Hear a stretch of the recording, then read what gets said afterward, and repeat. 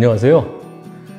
어, 진짜 오랜만에 뵙겠습니다. 지난 가을에 그 우리 명상 강의 한 거 최근에 그열 번에 걸쳐서 유튜브에 예, 올라온 걸 통해서 만나 뵙고 오랜만에 뵙는데 예, 그동안 여러분들께서 그 칭찬도 많이 보내주시고 어, 뭐 교정해야 될 거 이런 것도 말씀을 해주셔서 어, 저 스스로도 많은 도움이 됐습니다. 어, 지난번 그 명상 마음 챙김 명상이 사실은 이제 한 다섯 단계의 난이도를 따지면 한 1단계 내지 2단계라 그러면 음, 이번 명상 코스는 한 3단계 정도로 저희가 잡았는데 부탁께서 어, 말씀하신 그 내용들이 지난번 강의 때도 말씀드렸지만은 사실은 어, 우리한테 명상을 하라, 명상 수행을 하라 라는 얘기를 하고 싶은 거고 그런 맥락에서 이제 경을 설하신 건데 어, 만약에 부처님의 가르침을 설한 그 경 중에서 가장 중요한 경전을 한번 뽑아봐라 라고 나, 저한테 만약에 묻는다면 저는 다섯 개를 뽑든 열 개를 뽑든 세 개를 뽑든 하나를 뽑든 이 사티파타나 수타 이제 한문으로 얘기하면 염처경이죠. 어, 이거를 뽑을 겁니다. 왜 그러냐면 에, 부처님께서 그 본인의 명상 수행 방법을 다이렉트로 직접적으로 설해 놓으신 경은 이 경이에요. 이 경뿐이라고 하면 좀 그렇지만 그 명상 매뉴얼, 가장 직접적인 명상 매뉴얼이기 때문에 이 경을 들어야 되죠. 지난번 우리 10회에 걸친 강의에서는 그냥 그야말로 초보적인 강의였기 때문에 이 경전 얘기를 거의 뭐 안 했는데 이제 여러분들이 이제 어느 정도 기초가 이제 닦아지셨으니까 본격적으로 이 경 얘기를 안 할 수 없고 어, 어찌된 연으로 이번 유튜브를 처음으로 보시는 분들께서는 당부컨대 시간이 되시면은 지난번 10번에 걸쳐서 제가 강의했던 그 마음챙김 명상을 좀 보시고 어, 이번 강의를 들으시면 도움이 많이 될 것 같고요. 어, 제가 지금 음, 사티파타나 수타 염초경 음, 짧은 음, 길지 않은 경이고 우리나라 책 페이지 수로 따지면 글쎄 한 10페이지 정도 되려나? 에, 근데 이거를 나름대로 제가 이, 이 교재를 만들다 보니까 저 나름대로 기준이 생겼어요.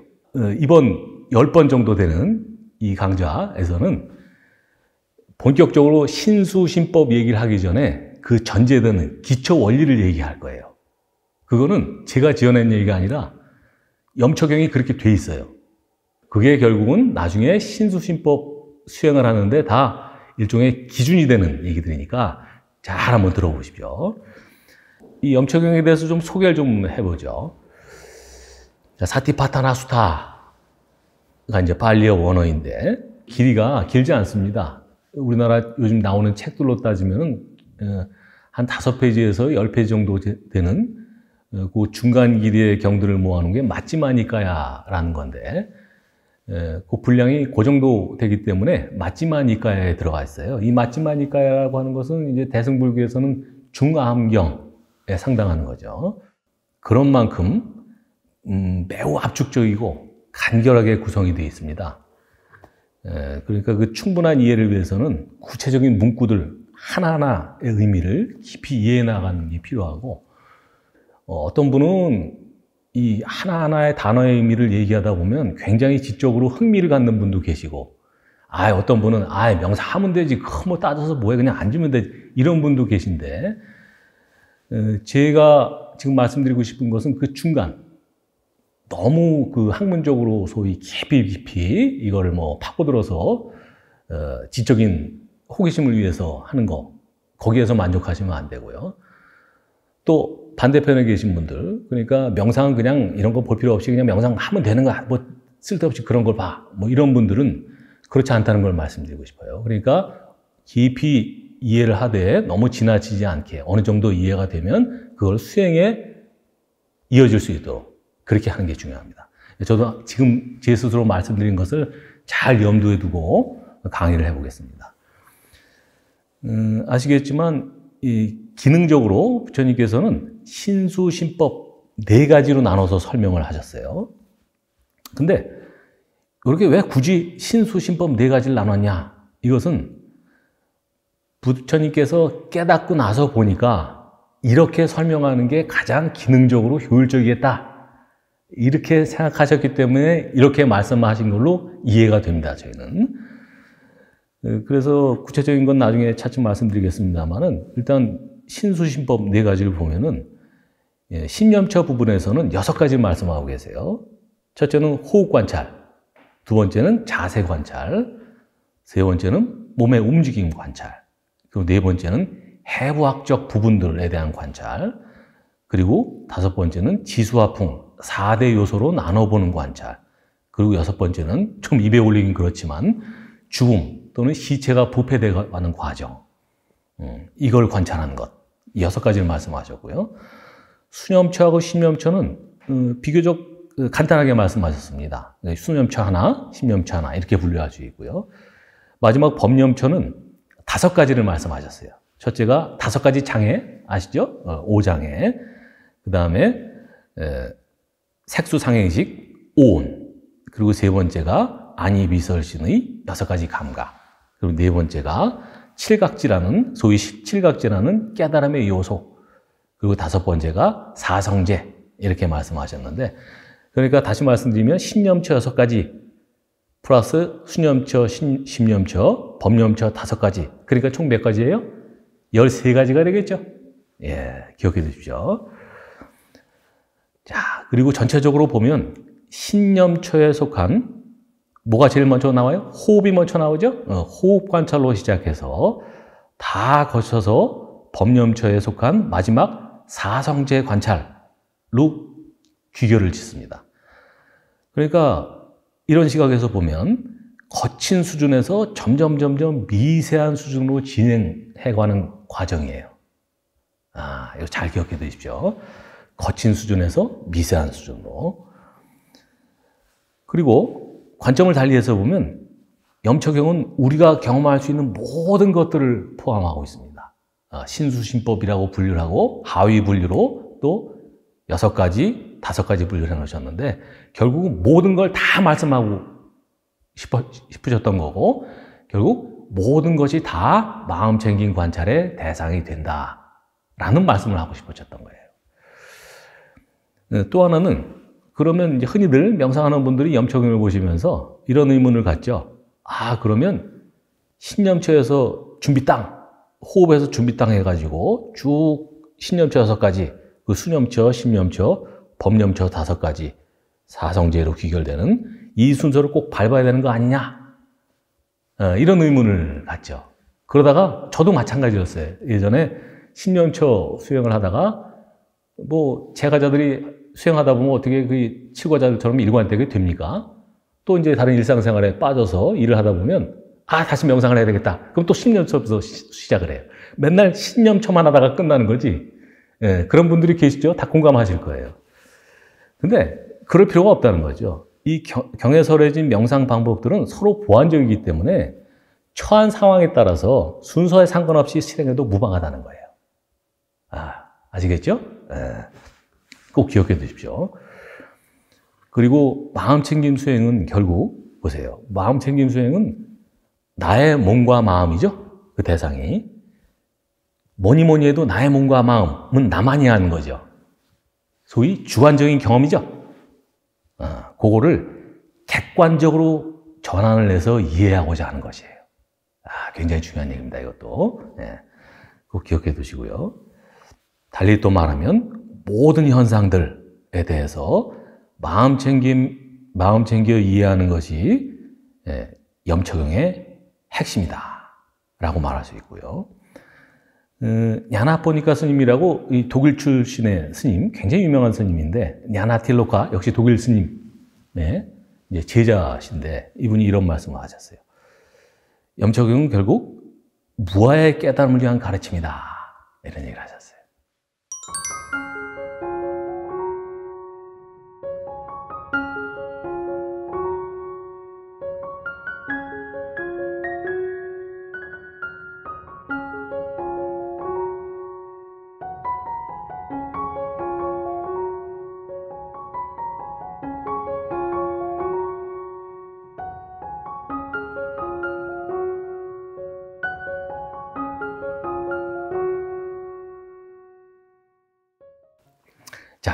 본론, 본격적으로 본론으로 들어가서, 어, 얘기를 해볼게요.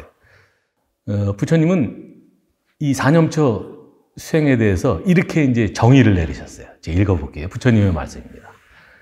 이것은 존재의 정화, 슬픔과 비탄의 극복, 고통과 불만족의 소멸, 진정한 방법의 획득, 열반의 실현으로 가는 직접적인 길이니 이름하여 사념처이다. 이렇게 말씀하셨어요.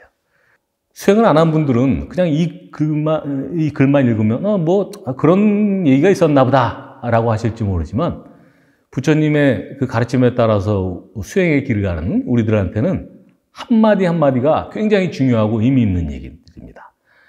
그거 보시면 제가 번호를 붙여놨는데, 이건 부처님께서 번호를 붙여놓은 게 아니고 제가 붙인 거예요. 다섯 가지를 말씀하셨죠. 자, 이것은, 이 사념초 수행은 다섯 가지 효과가 있는데, 다섯 가지 의미가 있는데, 첫째는 존재의 정화. 내가 정화돼요. 음, 명상을 하면.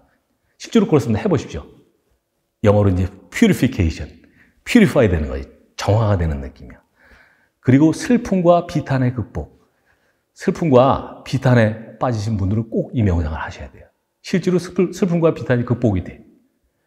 괜히 하는 얘기가 아닙니다, 이게. 부처님이 그냥 하신 말씀이 아니다. 이유가 있기 때문에 써놓으신 거거든요. 그 다음에 고통과 불만족을 겪고 있는 분들, 이 수행을 하십시오.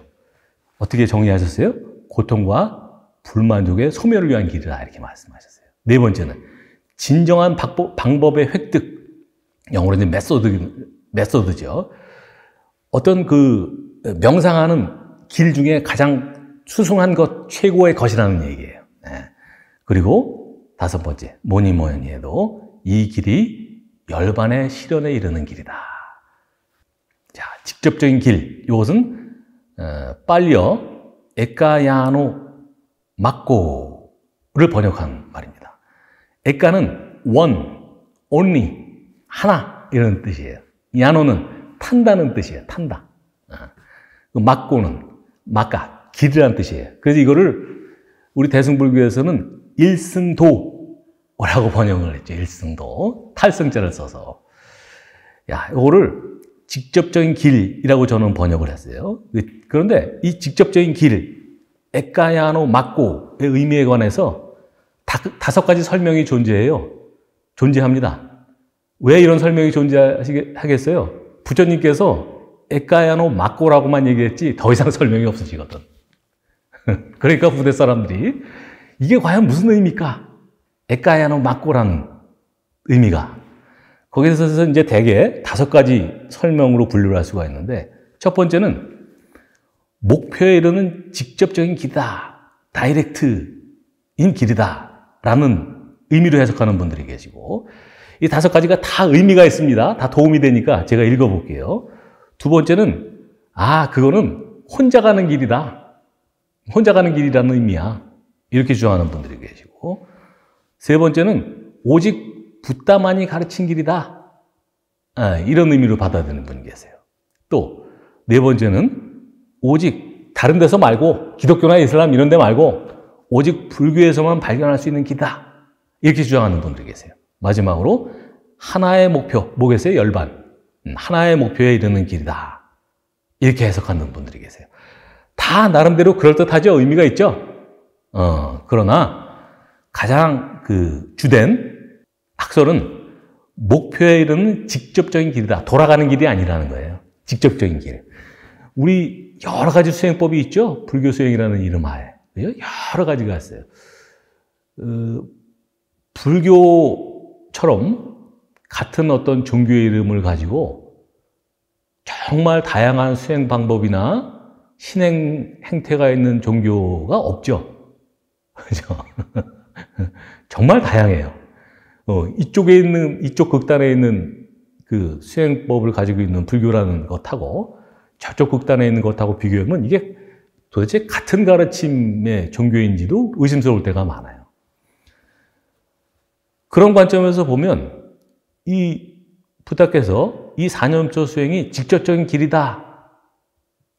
라고 우리가 에드카야노 마코를 해석하는 것은 그런 의미인 거예요.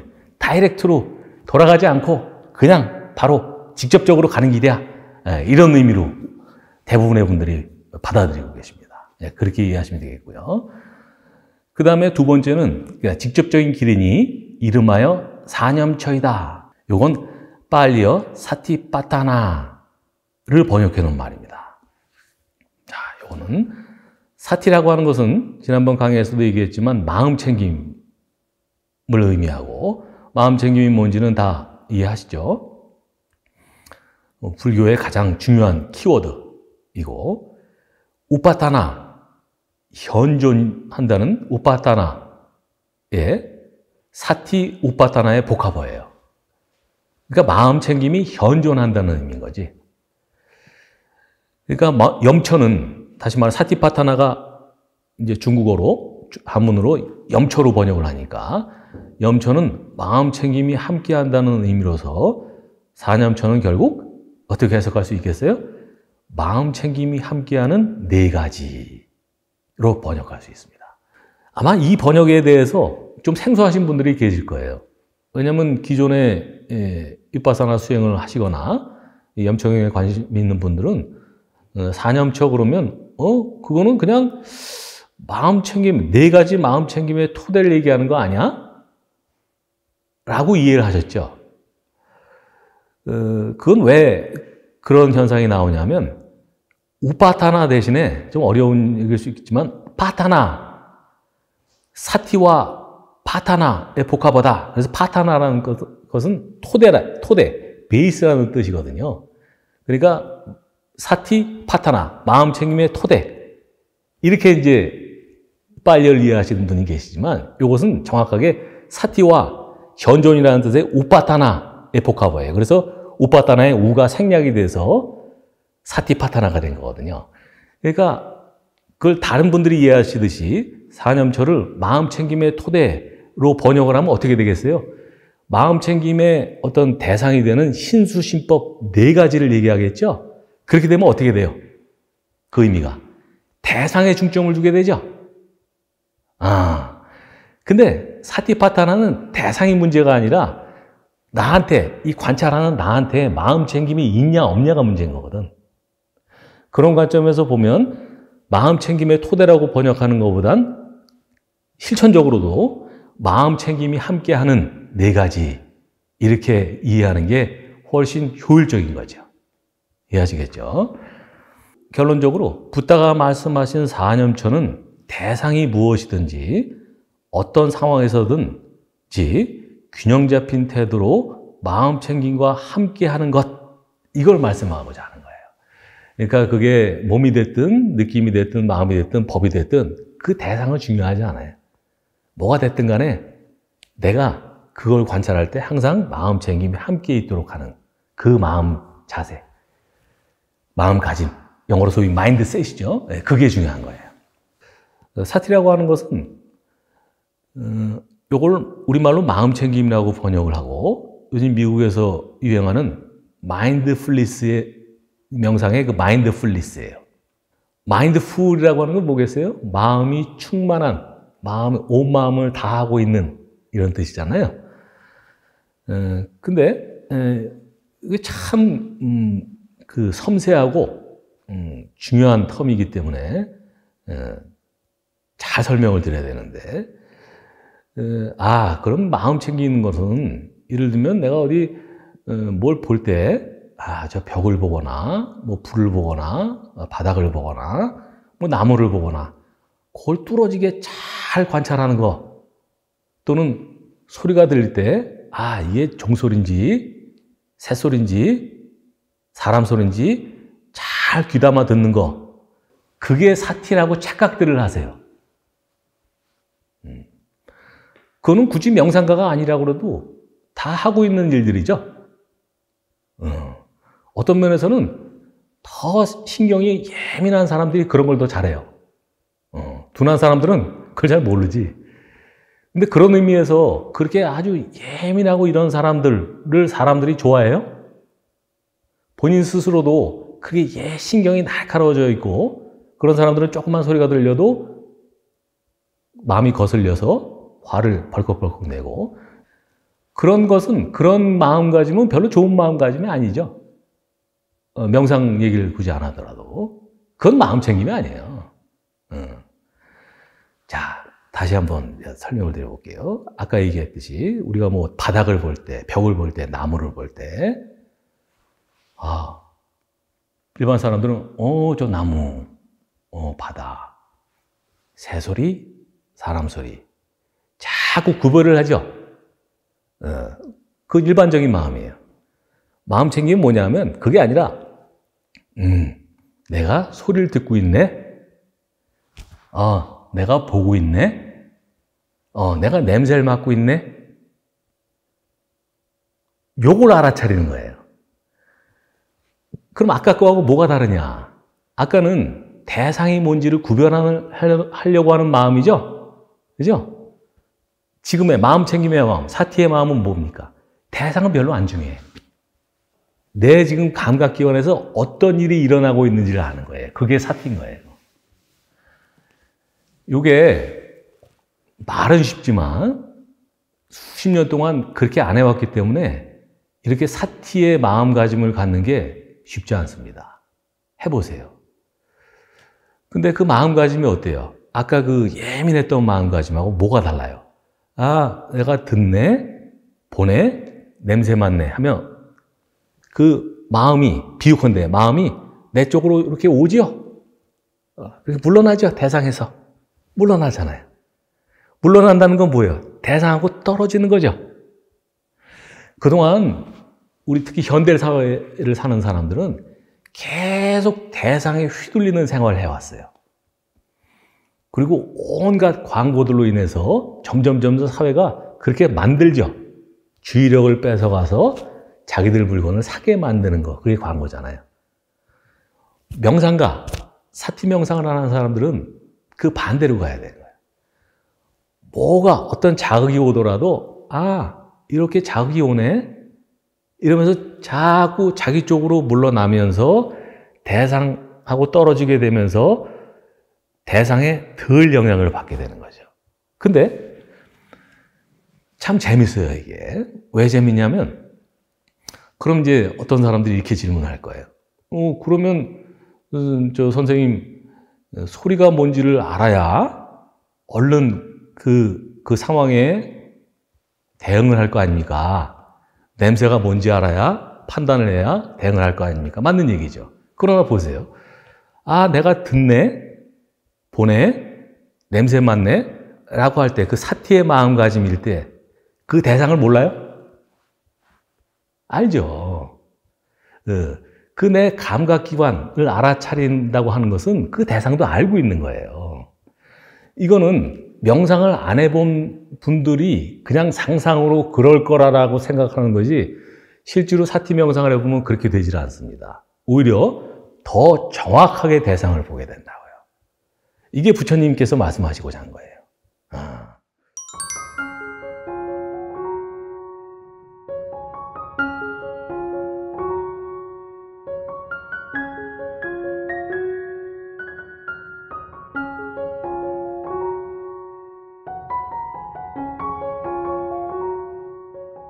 좀 개인적인 얘기를 하자면 어, 저는 어, 지금 법 전공자죠. 아시는 분은 아시죠. 어, 법을 전공을 했고 뭐 검사 생활도 한 10년 하고요.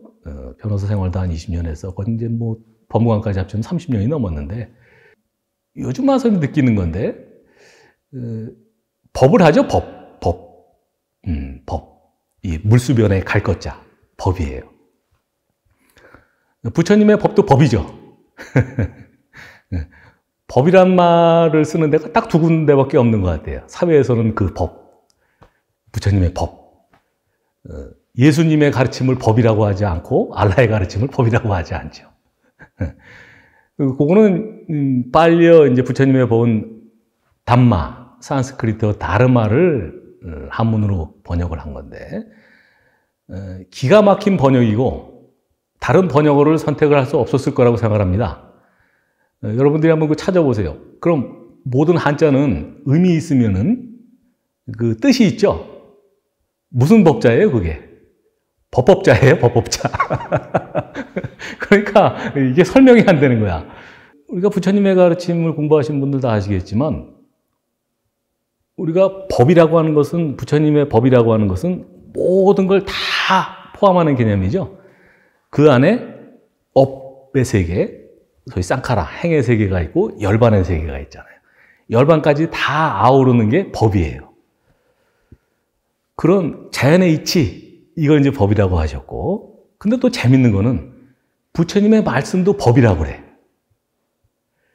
근데 앞서 얘기한 그 법하고 부처님이 얘기하시는 그 말씀이라는 의미의 법은 의미가 다른 거죠. 네, 근데 그것도 법이라 그래. 참 기가 막히지. 법을 설하기 위해서 법을 말, 법에 대해서 말씀하시기 위해서 법을 설하셨어요. 네, 이제 얘기가 길어졌는데, 근데 저도 이제 법조인 생활을 한 30년 넘게 하다 보니까, 어, 뭐, 법률가라고 하는 것은 어떤 이치에 맞게 어, 그 사람들의 행위를 어, 교정을 하거나 잣대를 들이대서 어, 평가를 내리고 이런 걸 하죠. 근데 흔히 예, 잘 아시다시피 오판이 너무너무 많아요. 제대로 제대로 자연의 지대로 해보려고 하는 것, 해보려고 하는 것, 그게 법일 수밖에 없어요. 제대로 완벽하게 되질 않아. 왜? 사람이 하는 거니까. 그게 사회법의 한계예요. 근데 저는 음, 행운스럽게도 이제 부처님의 법도 이제 공부를 했는데 여기는 너무나 완벽해. 어, 그러니까 같은 법이라고 우리가 감히 사회법도 법이라고 하지만 이 비교가 안 되는 거예요.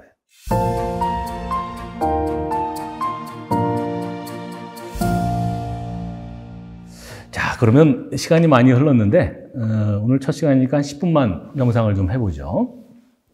앞부분에 이제 집중 명상 부분은 주로 이제 body scan을 했고 뒷부분은 통찰 명상을 했는데 집중 명상 body scan 부분은 제가 거의 유사하게 이제 유도를 할 수밖에 없어요. 어, 그리고 그게 일종의 뭐 루틴이 돼서 어, 여러분도 이제 예, 아왜 최 선생은 맨날 그 집중 명상 유도하면서 똑같은 얘기만 하냐?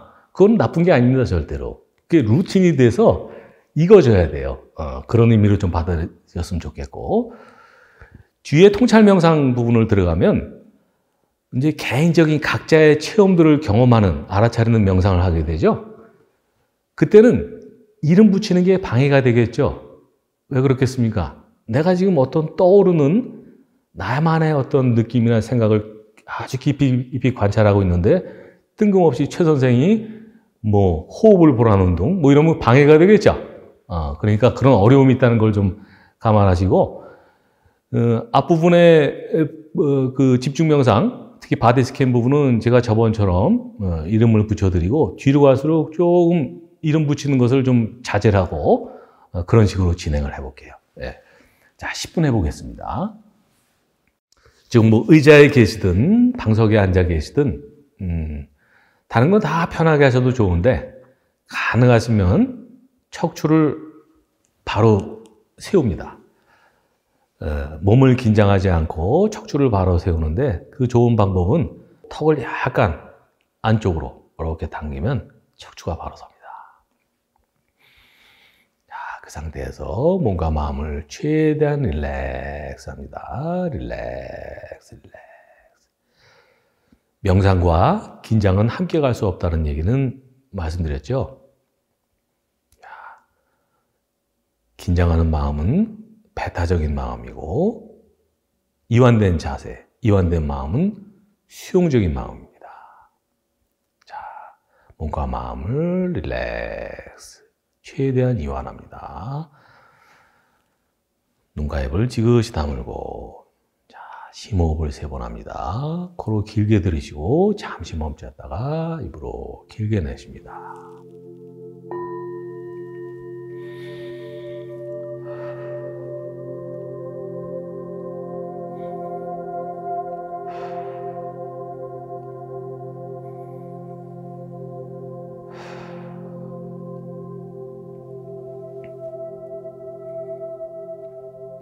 천장에서 하얀 천이 내려오는 그런 상상을 해봅니다. 내 몸 주변으로 부드럽고 하얀 반투명의 천이 서서히 내려오는 상상을 해봅니다. 내 몸 주변으로 그 천이 지나는 곳마다 내 몸과 마음이 자비심으로 충만해지는 상상을 해봅니다. 머리털,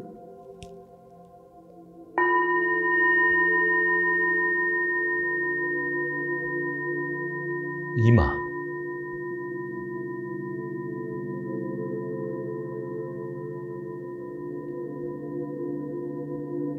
눈썹,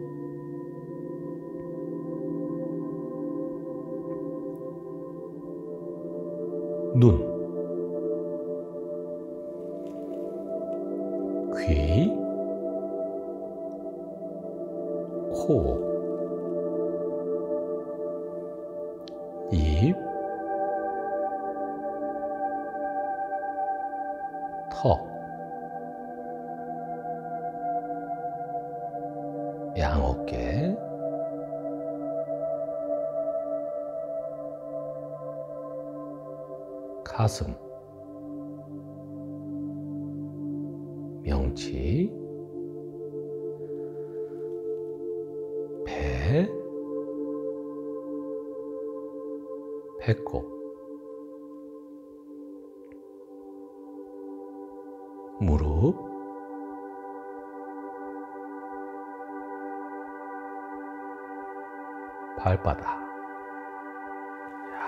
야, 얇고 부드러운 천이 내 몸을 완전히 감쌌습니다.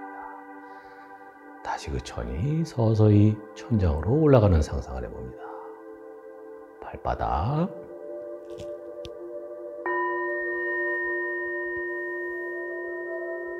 무릎,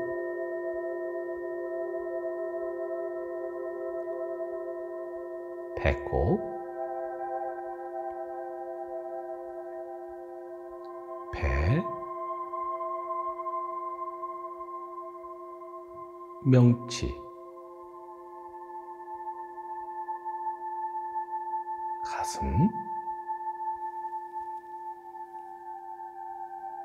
양 어깨,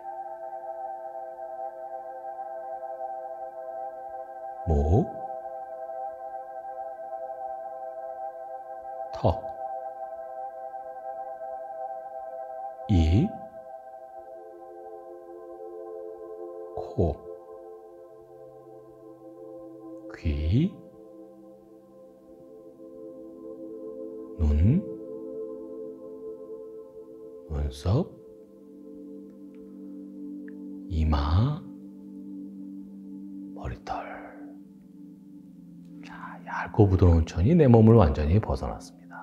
몸과 마음이 아주 편안하고 이완됐습니다. 자, 호흡을 관찰해 봅니다. 가만히 내버려둬도 숨이 숨을 쉽니다.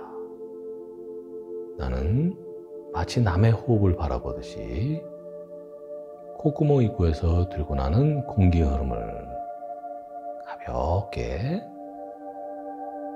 통제하지 않고 간섭하지 않고 자연스럽게 알아차려 봅니다.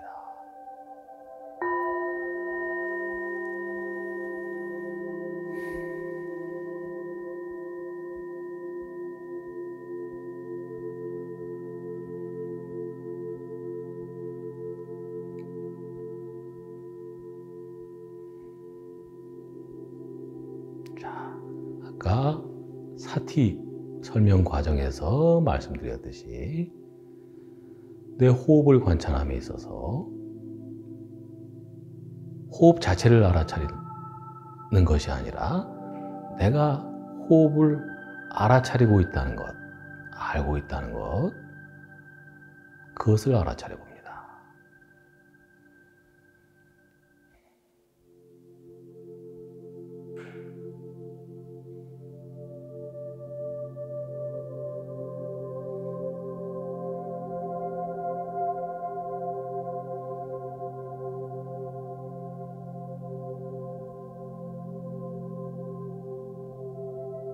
호흡이라는 현상은 내 콧구멍 안쪽에 피부를 통해서 알아집니다.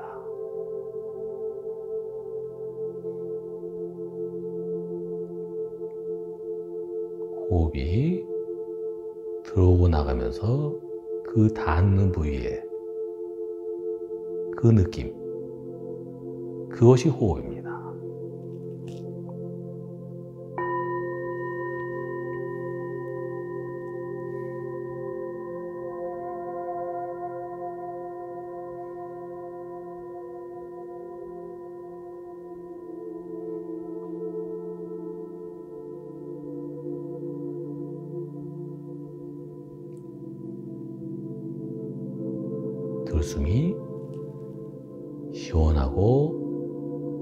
하고 빠르다는 사실, 날숨이 덥고 느리다는 사실을 알아차려 봅니다.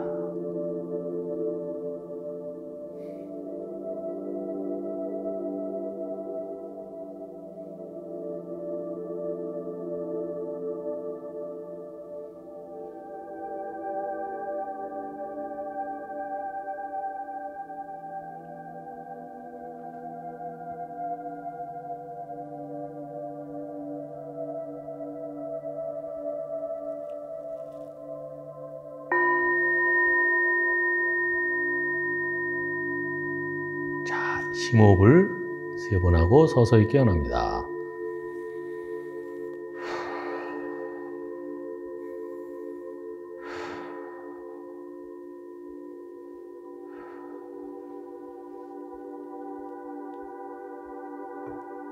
자, 다음 시간에 뵙겠습니다.